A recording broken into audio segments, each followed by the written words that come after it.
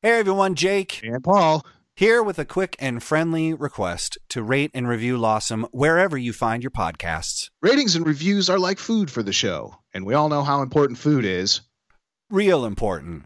So if you like Lawsome, please show your support and keep it fed. Thanks. If you've watched any amount of cartoons over your lifespan, you may remember the 1949 Tex Avery cartoon, The House of Tomorrow. In it, we learn about a futuristic place where all of our luxuries are more luxurious and the strains of everyday life are made less strenuous, all thanks to technology. So it is today. Tech fixes are everywhere, and no, there aren't any radish burping machines. Keyless entry, remote video of the house, the nursery, the dogs, endless streams of content on our phones, Amazon next day, chatbots, text templates, single sandwich delivery. All of these tech trends have a replacement angle. We used to have to use our hands to open doors. There was a time where we had to trust our neighbors and those who watched our kids. To learn about the world, we had to buy a local newspaper. We had to go to the store, we had to talk to customer service people, actual people, and if we wanted a sandwich, we had to get off our butts and go get it. In our never ending quest for ease and comfort, there's something about tech replacements that should give us pause. Are we changing fundamental aspects of what it means to be an autonomous human? Then, of course, there are positives. At the law firm, you may work hard answering the same questions day in and day out, and the result will be you never get to your work. Chatbots are quickly becoming a part of the law firm of tomorrow, a place where tech can replace the doldrum work and allow lawyers the freedom to focus on their calling rather than focusing on all those calls. That's what we're talking about today legal chatbots, and the law firm of tomorrow. Let's go.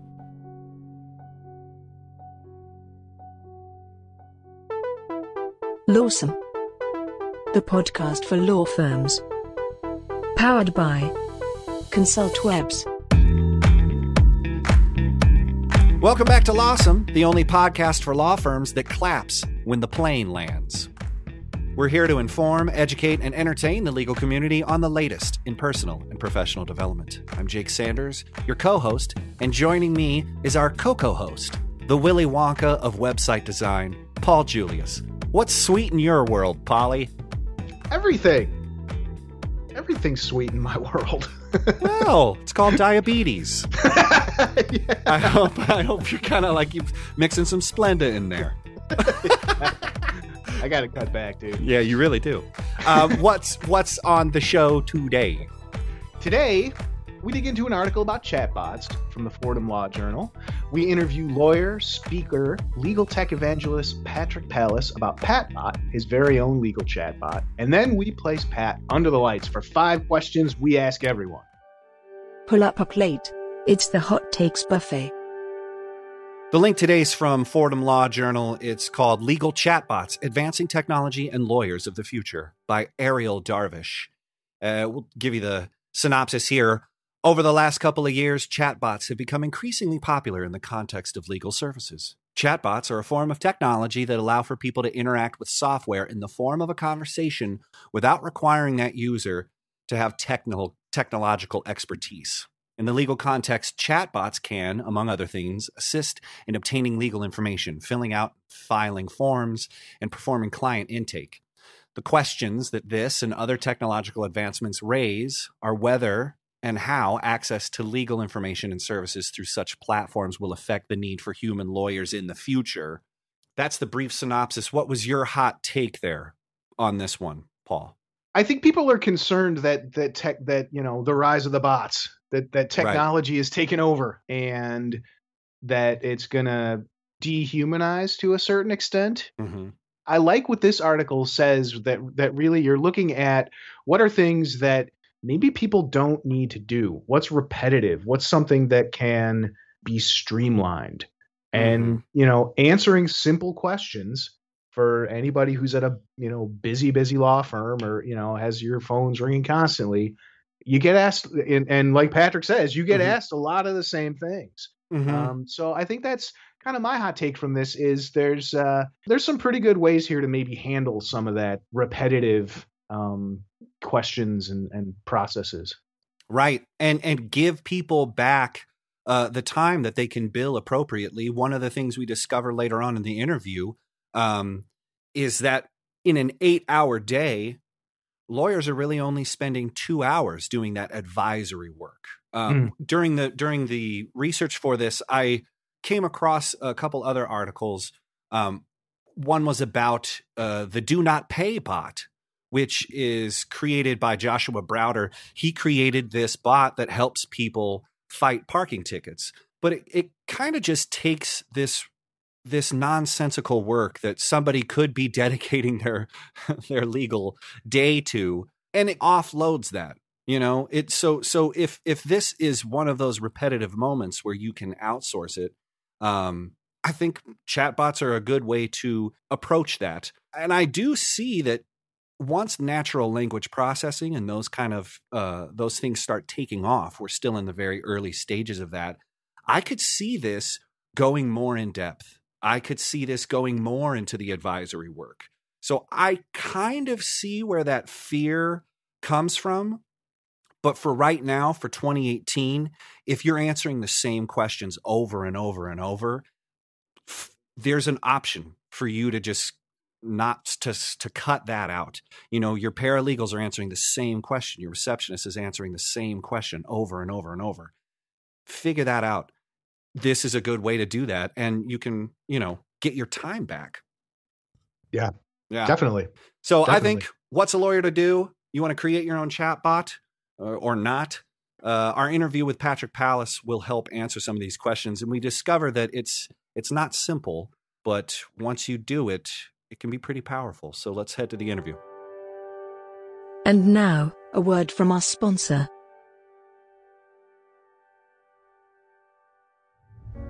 I met Tanner, who works for Consult Webs, on a plane on the way back from Key West, Florida. And I'd just been thinking that I needed to do some more marketing for my law firm. So when he told me that he worked for Consult Webs, I was super excited. From the beginning till even now, I've been with them for almost two years, and the experience has really been great having Consult Webs on board is really like having your own team of people that really care about what kind of business you're getting. I mean, practicing law can seem kind of lonely. You always are wondering how I'm going to get clients, how am I going to make payroll. But with Consult Webs, it's not just me worrying about having people come in the door, they're there as well. And they've been so responsive. Since I started with Consult Webs, I have increased the number of employees double at least. And since I started with Consult Webs, the revenue has tripled. It's really been an incredible experience. Go to consultwebs.com to learn more. And now, for a lawsome interview. Patrick Palace is the owner of Palace Law a personal injury and workers' compensation firm in Tacoma, Washington. In 2016, the Law 500 recognized Palace Law as one of the top law firms nationwide for its growth and innovation. Patrick has been president of the Washington State Bar and currently serves on the National Council for Bar Presidents Executive Council. Whether on webinars, podcasts, radio shows, keynote presentations, or his own TV show, Patrick is an outspoken practitioner of law, and he's traveled the world spreading the legal gospel. His most recent project is a legal tech summit for lawyers. He also owns his own winery, Sunken Cellars, and preaches and teaches mindfulness and yoga. After a huge year and a full schedule, Patrick has made some time for us to talk about innovation, Pat bots, and more on the Lawsome podcast. Patrick, thank you so much for being here. Wow, what an introduction. Thank you for those kind, kind words. Well, if they weren't real, then you know we'll have to talk about it later. Uh, so eh, so let's talk about your career path from simple cave lawyer to your speaking work advocating on behalf of legal tech and innovation in law firms. Yeah, so this would be the medical process where I had uh, my knuckles shaved, my arm shortened. Is that the process? I didn't want to get too into the the anti Neanderthal surgeries because that right. that can be really hard. It's a Cro-Magnon kind of medicine. I had my, my brow lifted and I'm feeling much brighter now. Thank you. I actually understood your questions. So uh, yeah, your your words scare me.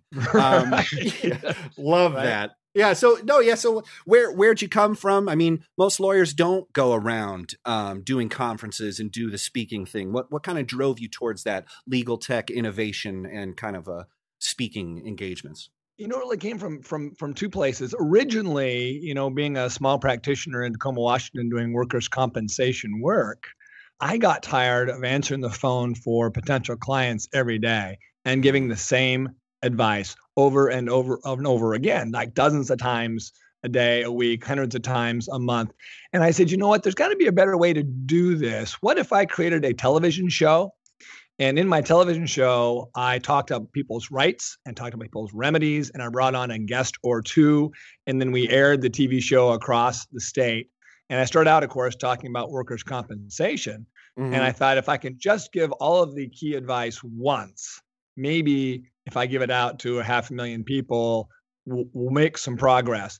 And the show ended up uh, going through a number of, of seasons. Uh, I did one show for the Washington State Bar Association, and then I did another show for the Washington State Association of Justice. And that really got me into doing media and, and speaking and being more comfortable in front of a camera or or a mic. And from there, uh, I started taking higher and higher leadership roles through the bar and through the ABA, mm-hmm. uh, and eventually ended up being president of the bar, where uh, I focused on the future of the profession. But I got to tell you, when you spend half your time running your law firm and then the other half of the time doing volunteer work for the bar, there's really not much room for innovation. I spent seven years volunteering and preaching what people needed to do and hearing about what's being done and talking to solo and small practitioners across the country. But then I wasn't able to do it in my own office because there was no day left. So as soon as I came off being president, uh, I sat down with the firm and said, We are going to dig deep and we're going to go fast. And we tore apart virtually every structure in our office and reinvented the office as if we had never had one before. And uh, so that was a change in people and in structure and in workflow and in media and marketing. Uh, everything got torn up. And so that has been my trajectory because as we found more success in our firm, I've spent more time on the road telling other bars and doing podcasts like this. Um, tools that we're learning, tools that help lawyers be more efficient, tools that grow the practice into the future. And it's led to a lot of cool opportunities. Let's jump right into one of those opportunities. It's PatBot, your legal chatbot. So, it, yep. I, I mean, you kind of gave the genesis where that idea came from, but was the PatBot, you know, selling your firm on it? Was was it a staffing concern, or was it a marketing play, or how, how did that kind of the generation of that and then the installation? Yeah, it really is access to justice is, is the main purpose there, mm. right? Like we can't talk to enough injured workers in the state of Washington. Our phone is ringing all day, and I'm very happy about that. I mean, it's a law firm, that's great to have it. But the reality is that we can't talk to everybody, and a lot of people are scared of lawyers and scared we charge fees if they get us on the phone. And a lot of people simply don't have a key to the courthouse or any access to understand their rights and remedies. So, consistent with the purpose of the television show and, and a lot of the work that we've done here in the office, we said what we need is uh, a method for people to communicate online 24 7 that will do a complete analysis of their case, tell them what the issues are so they understand what's important and what's not, and then give them a, a template to do it themselves. So what the chatbot does is you, you come onto the website, it's on our homepage, and uh, you fill out uh, a dozen questions, mostly yes or no. Very simple to do, happens very quickly. And it will identify all the issues in your workers' compensation case that are critical to your case and explains the law around each issue. Then, if any of uh, the people who come to the to the PatBot want to take action, really DIY it themselves, they push a take action button, and then they get access to forms and to pleadings. They get access to resources and links, and it allows them to do the case all on their own. If at any time they want to call me or talk to my staff, they're welcome to do that. But the but the process, the PatBot, was really created just to give people uh, access. The other cool byproduct of this is mm-hmm. that it gives us a lot of data, right? So we have written beneath the PatBot a collection of all the answers to all the questions. That helps us identify what are the critical issues that people are facing? What's the most common issue? Where are people struggling the most? That helps us simply build up the PatBot as we continue to go through new versions, new iterations to really beef up where people need us the most and maybe not do as much on issues that we thought were important, but really aren't apparently as important to the people out there who are in trouble. Man, and it's really it's it's a tool to question your assumptions because we we we often come on board with a lot of assumptions about what our clients are experiencing and what they need, but we can't escape ourselves. So this is a great way to just have your client tell you, you know, oh, they're really asking about this. Let's focus on that. Oh, it's so genius. What a great. There's so, another cool couple cool pieces to it if I can just add on if you don't go mind. Ahead, man, um, please. Um, yeah, one of them is we put a feedback loop in it, right? So at the end of each use of the PatBot, they get to tell us what they think. Did it work? Did it not work? What was done well? What wasn't done well? You know, tell us. And so we collect answers all day, every day, 24 7 on how to improve it. And we immediately get really good feedback and we continue to put it right back in and do it. My partner who's doing this is LawDroid, uh, Tom Martin from Vancouver, who is an amazing, uh, amazing man who's been making Pat bots. In fact, he's making one for uh, the Tennessee bar. He's working on one for the Washington bar. There's people out there um, that he's building Pat bots for, chat bots for he's really a great innovator, and I have to put a plug out for him. But the other piece that's um, that's fun about this is that if one of our people who uses the PatBot decides they want to call us, then we have that information right there in front of us. We already know a lot about their case. So when we start talking to them and say, "Hi, I'm Steve," like, "Hello, Steve. I, I saw what's going on in your case. Let's jump into this and get some answers and let's get some resolution, right? Because we know uh, some of the data and some of the problems they already have. So it shortcuts the conversation. We can get right into helping them. Genius. And so, as you were creating that uh, with LawDroid, what was the workload like as you were creating the chat bot? What, was it what you expected? Was it more or less just kind of the experience of kind of, uh oh, here we go. I, I, will tell you the tech side of it was a piece of cake for me because I left that all to Tom Martin, who's the tech genius. Right? nice. Uh, that was really easy for me. The hard part was that I had to think of a way to synthesize 350 statutes, uh, 100 years of case law, and all of the policies used by employers and the Department of Labor Industries down to like 12 questions. Um, and I'll tell you, I've been practicing for, for 25 years, and I, I, I, I used every last one of those years in being able to put that together. It was a lot of thinking. I found myself every time I was flying somewhere and sitting on an airplane for six hours, just a lot of navel gazing, just thinking, how do I synthesize this? And so I wrote out uh, a map for the questions. And then I spent the next probably month shrinking it and shrinking it and shrinking it and shrinking it down to really core core issues. That old saying about, uh, you know, if I'd had more time, I would have made this shorter. I yep. took the time and got the entire area of law down to about 12 questions. That was the work. That was the work. Putting it into a pat bot was a matter of handing it over to some genius like Tom Martin, and he uh, transformed it.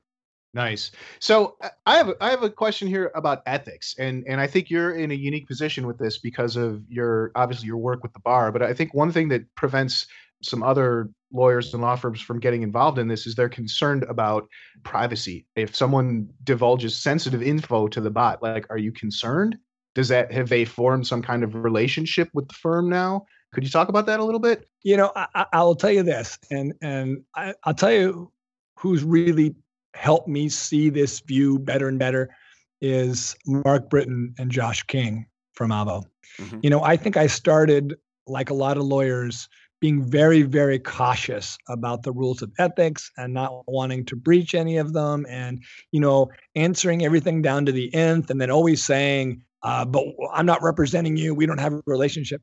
I really have, have dumped so much of that and just stopped worrying my job is to be pragmatic. My job is to get information to the people who need it. And you know what? If I don't follow the rules perfectly, then I don't follow the rules perfectly. You know, when you're writing answers for Avvo, uh, there's not enough place in there to answer every question that, that somebody may have to the nth degree, and then write a two paragraph disclaimer, right? right. In, mm. in in this modern day of law, right, with this huge access to justice gap, people don't want a treatise and they don't really care about the the clauses saying we're not a we don't have a relationship and and, and this isn't advice and yada yada yada. I mean, yes, it's probably a good practical idea to to do it, but I just had to step away from that. My job, my job is to give people advice. My job is to give people information. My job is to help people get into a better place any way that I can do it. And I stay focused on that. And um, the Pat bots the, the same way. It, it really is just a way to get information to people. And if I had got all wrapped up in, in, in the in the finer points of of the ethics, I think I probably would have scared myself away from it. And you know, and that's interesting because um, you talk about getting people the stuff they want. Most people just want an answer. Yes, I, I just want to know. You know, I just and and we were when we were doing research for this, we found that a lot of people would prefer to chat with a bot, like whether it was you know with the cable company or whatever, because I just want what I need to know as fast as I can get it. So in that line, uh, have you had feedback about PatBot? You know, you like know, what we, kind of? I told you we had a feedback loop, so we have been collecting feedback from from people. So far, no one has written me a lot. You know, I'll read you a couple of the things that people are giving us. Like everything was perfect. I mean, that's great. Somebody else says really great. Uh, someone right. else says it's uh, it's just more information to make sure you're doing the right thing. Somebody else says perfect, cool, thank you. Right. So at the moment, those are the kind of comments that we're collecting. I suspect as we start to build a bigger sample and we get in the thousands of people using it, we'll we'll continue to get more comments that'll help us really drill down to be more and more efficient and really give people what they need. But you've never you haven't had anything like negative though, so that's positive. No, right? actually, you absolutely know? nothing negative. We even had some trolls out there trying to break it, which by the way, I am great with. Anybody out there hearing this podcast, you want to come to palacelaw.com, you want to come bust my Patbot do your best, bring it on, because if you can, it means I need something to, I, I need to fix it. And we've had lots of friends out there busting it. My 17 year old boy busted it for a month, like every hour just for kicks. You know, one of the best things he did, we thought we had everything solved. And in one of the answers, he writes in, I love you. And the thing crashes. Like, who writes in "I love you" into a pat bot? well, I have a I have a question about um, just kind of the firm. Have you since you put in pat but pat since you put in pat bot the, the pat bot or the pat bot, bot you know what I'm talking about. so since you put since you put in the chat bot, have you seen signs like the signups for work comp cases go up uh, with Patbot? I mean, the answer is yes, but the but the sample is relatively small so far. Mm-hmm. What I suspect will happen will be two things. One is that we're going to have a more educated and knowledgeable phone call when someone does talk to us because they will have already vetted their case, known their issues, know what they have to do. So I look forward to a shorter phone call with people who know exactly what they want. The other thing that I suspect uh, will happen is that people will know more what it is they want, right? As they get more data and more information. Um, it's harder, I think, when you're calling around to law firms and you're leaving your me- message and hoping someone will call you back or trying to run around uh, and learn stuff from uh, various websites. If you have a one stop shop that identifies all your issues and lays them out, I, I think it really helps people get what they need. So, you, so you recently spoke at Lawyernomics. Um, you're talking right. about Mark uh, Mark Britton, who I love, and he's moving right. on from Avvo. Um, so, what was the feel of lawyers there? What are lawyers kind of concerned about these days? Did you see a kind of through line when you were talking to folks when they approached you? Is there what's kind of the buzzwords that people are getting? I'll tell you what I love about Lawyernomics is that it really is a group of lawyers who are so motivated to push the profession forward. They're all looking for ways to be more efficient, to provide better service. Um, uh, to make sure they're taking better care of their clients. Uh, they're interested in growth and technology. Uh, and and ClioCon, going to the the uh, Clio Cloud conference, it's the same way. Same kind of groups of people. Mm-hmm. Lawyernomics tends to focus a little more on on marketing. Mm-hmm. Uh, at this conference, uh, Jack Newton, who's the CEO of Clio, and I spoke about data analytics, and in particular, data-driven law and I've been calling it Moneyball law because it yep. it's like the movie Moneyball, where you're looking at analytics, how to make a baseball team using statistics to determine who you hire and what to pay for them. We're using a lot of analytics in our firm, um, and so Jack Newton has a really great presentation about his legal trends report uh, for 2016 2017 that gives an overview of the entire profession and where we are and what's happening. And this is maybe one of those. Uh, uh, uh, spoiler alerts. Mm-hmm. Uh, but the end of his presentation, he tells you, guess what, guys? We're all losing six hours a day. we're losing six hours out of our workday that is not billable or productive uh, or that we're getting money from.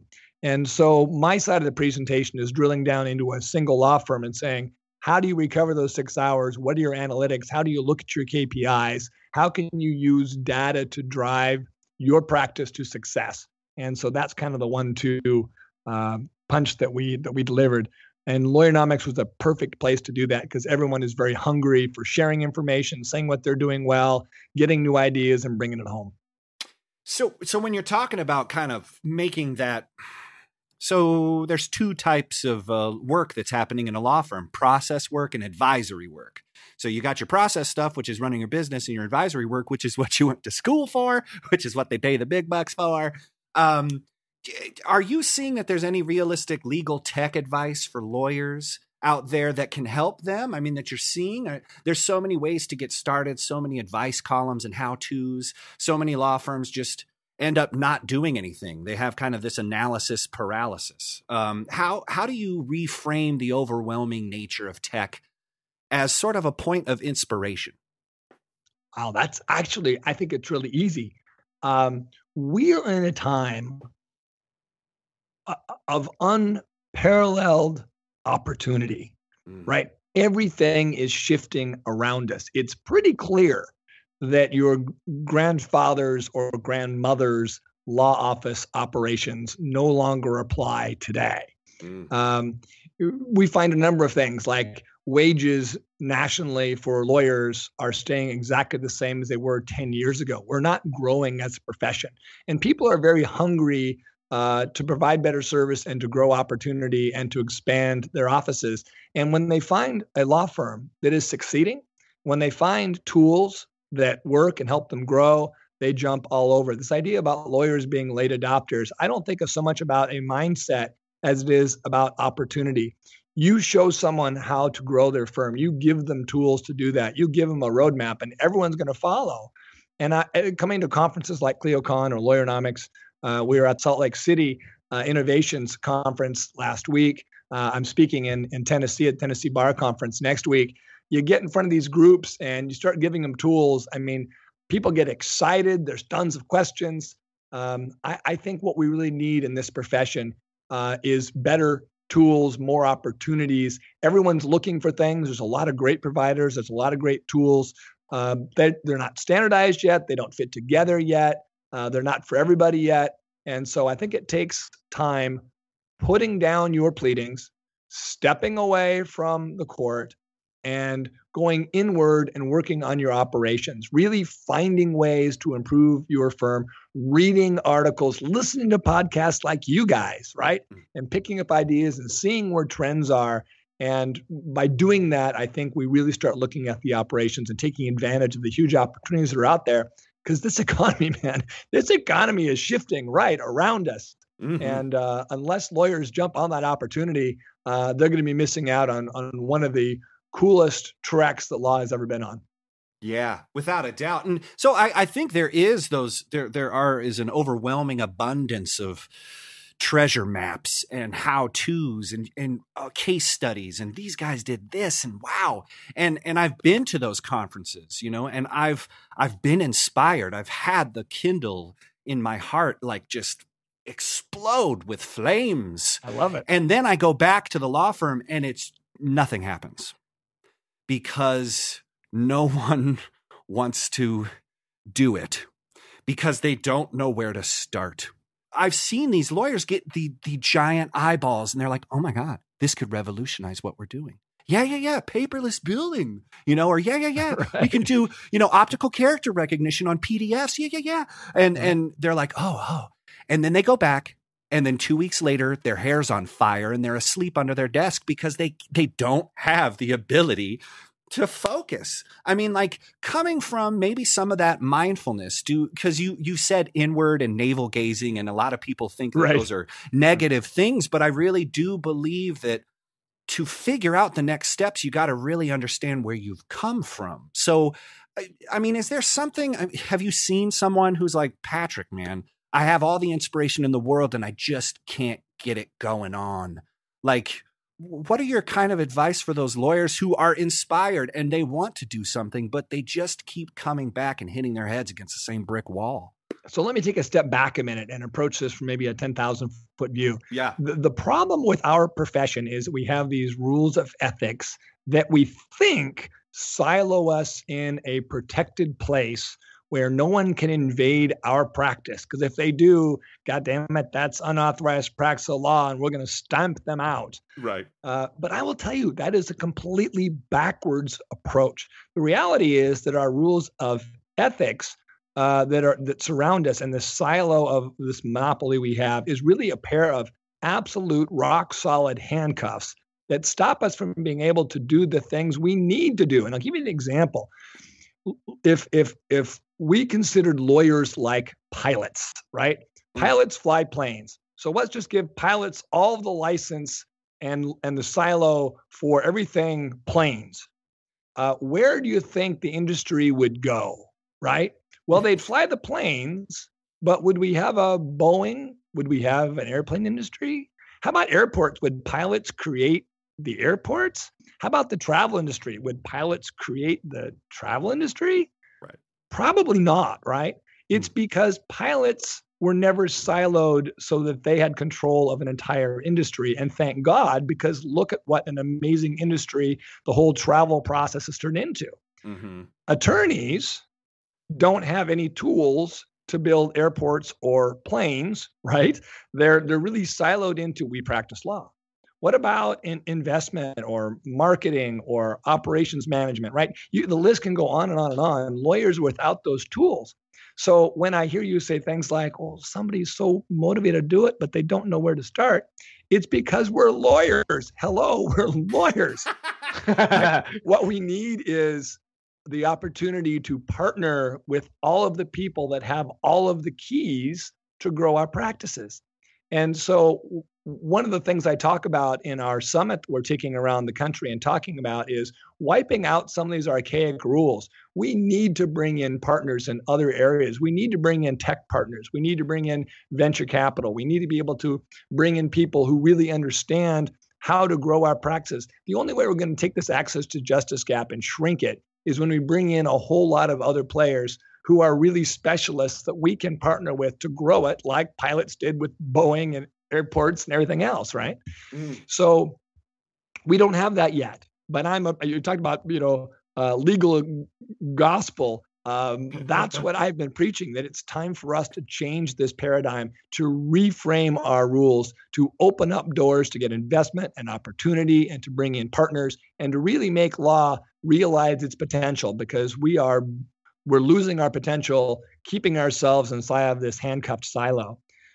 At the moment, the tools we have are things like this. In my firm, the last four hires that I have made have been non-legal. I don't. I know I'm done hiring lawyers and paralegals. Uh, they are so entrenched in law and think like lawyers and think with legal process. I want other people. We brought in somebody who's a who's a user experience designer. We brought in somebody who's a project manager. We brought in somebody who's a communications director, right? Nice. People who are outside of our profession. I don't want them to know anything about lawyers. The less they know, the better off I am because they bring in that diversity and that fresh knowledge and they look at things differently and they have a different lens, right? And then we can start to build a practice. My project manager takes projects. I mean, we're doing a project a week, sometimes doing multiple projects a week, and every project that she's ahead of she puts together teams in the firm or teams outside of the firm with tech companies. And and, and like we, we've had partnerships with now seven different tech companies building tools that we need for our office. And the good news is those tools are good for firms across the country. We help a tech company design a tool. We get a tool really inexpensively because we're the beta testers and and part half of the process behind building it. And then the tech company gets to go sell it across the country and say what a great product it is, right? And we've done this over and over and over again, uh, and it's very fun. So, what do I have to say to that sole practitioner who goes to a conference, is inspired, but comes back home and says, I don't know where to start? My answer is reach out, find a partner, a tech partner, a project manager, a coder, somebody. Reach out, bring them into your firm part time, bring them in full time, contract with them, a subcontractor. Let them use their expertise to build the, the, the holes that you have in your practice and build it out. Because you know what? We're not experts. We're pilots. well, it just it just uh, it just reflects so profoundly on our whole culture because no one wants to say they don't know. We all have an answer for everything, and you know, I think it's it's what's what in a brilliant answer that it's actually it's not up to you solely it's up to you and your expanding network and, and kind of making the most of what you have oh gosh yeah, pat um okay well unfortunately hey, what go ahead high brother. five i felt like we just high fived in there no i just i just uh, but i just feel it because but you're actually doing what everybody says and i like that your story started from I kept on saying it, but I didn't have time to do it. You know, the cobbler's kids have no shoes. Right. You know, it's like, I, I, know how to do it, but I'm just not doing it for myself. So, wrapping up real fast, yeah. Uh, and then we'll head on to the five questions. How can people learn more about you, Patrick? Well, I guess they can go to the website. Um, I'm very active on Twitter. You can find me at Palace Law. Uh, if you want to talk, share ideas, uh, be a partner, um, you, you can find me on my email at patrick at palacelaw.com um, or just hang out at conferences. I find myself speaking at more and more conferences. I'm home about five days in June. Otherwise, it's running from conference to conference, which I love to do because that brings back information for me. I get to share information with others. We get continue to stir that pod of innovation out there. So I'm out there, but I'm happy to chat with anybody anytime and hear what you're doing and, and share what I'm doing. Five questions that used to be 10 questions we ask everyone. Number one, what was the last book you read? Um, thank you for being late. All right. Number two, what is your favorite place? Oh, gosh, that's a hard one. Uh, I'm a big, big fisherman. I try to fish as many days in my life as I can. So, Astoria, Washington, a little fishing town on the uh, um, on the intersection of the Pacific Ocean and Columbia River, probably. Hell yeah. That yeah, site nice. of the Goonies, isn't that where Goonies? That is. That's exactly yeah. right. That's where it was filmed. Yeah. All right. Okay. Number three. What sites, blogs, newsletters, or podcasts do you regularly check in with? Hmm. I'm a big Lawyerist fan. I think uh, I think those boys are doing Sam Glover and Aaron Street are doing amazing things. Uh, I love um, Bob Ambrogi is always like on the cusp of everything cool that's mm-hmm. happening. He gets like the front interview for everything, and I yeah. love that Bob is always there. Um, there's this podcast, Lost I've heard really good things about. I think, I think that's one that people should pay particular attention to. It sounds like it's a really good podcast because of the guests. Yeah, yeah. yes, right. yes, okay. absolutely. Um, okay, number four. If you were stranded on a desert island and could only pick one condiment to take with you, what would it be? Oh, now you're killing me. you know, I don't know if it qualifies as a condiment, but I think it might be rum. that can go with coconut and coconut wine. that is a great answer. I love it. I love it. Okay, Last one, number five. After a long day or long week at work, how do you relax and unwind? Uh, that's that. Did you guys just feed that just for me? Uh, well, if you own a winery, you sit down and drink a lot of your own wine. so, my, you know, in my practice, it's a three-part. It's a, it's a three-part stool, right? Practice law hard, do yoga to relax and stay fit, drink wine with friends and family for for for food and entertainment. That's my three pieces of success in a happy life. So I guess it's drink wine. And and and and most importantly, if you really want to relax, the wine should be from Sunken Cellars. Oh, amen. Bless you for that. Yes. All right, we made it to the end. Thanks. Thank you, guys. Such a pleasure. Uh, love your energy. Love the show. Thank you very much for including me as part of it. For show notes, links, and info, go to thelawsomepodcast.com or follow us on Twitter or Facebook. Be sure to leave us a review and rating in iTunes or wherever you find the you listen to. Until next week, stay lawsome.